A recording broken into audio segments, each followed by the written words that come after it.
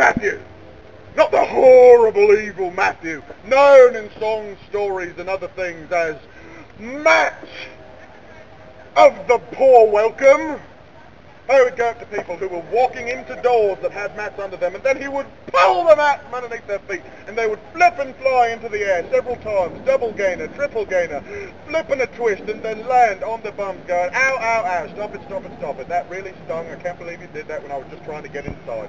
Oh, Matt, Matt, Matt. It's even worse the third time I say it. Do you repent of the terrible, awful, horrible crime of going up to people who are just trying to get in the door and pulling the mat out from underneath them?